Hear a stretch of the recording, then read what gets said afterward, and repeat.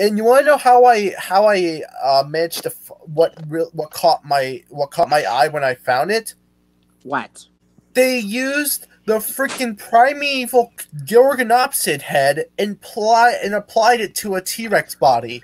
What? This, Yeah. no, I'm not joking. This is this is a thing. This is what Oh, one of their posters was was uh, they u- re- they reused the freaking Raptors? Gorgonopsid head. I'm not joking. Jeez. I- from Primeval?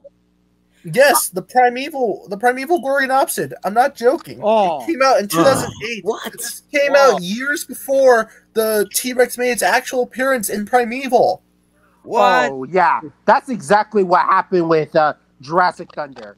They Don't- took the don't- model from Indominus Rex and then just slashed it with the Tyrannosaur head. Yeah. Yeah, that's what I saw. I mean, And don't forget about Donald Trump. try to rip. Don't I mean, forget don't don't forget what Last Day of the Dinosaurs did with the V Rex. Oh, they did yeah. what with the V Rex?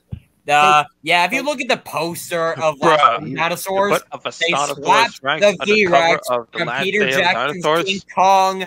They took the V Rex from that movie and slapped it on the poster. Wow. How cheap can you be, Discovery? How cheap can you be? I Yeah. remember. Oh yeah. Oh yeah. I remember that. I think I saw it in like a store or something. Like, what the heck is this? Why is the V Rex there?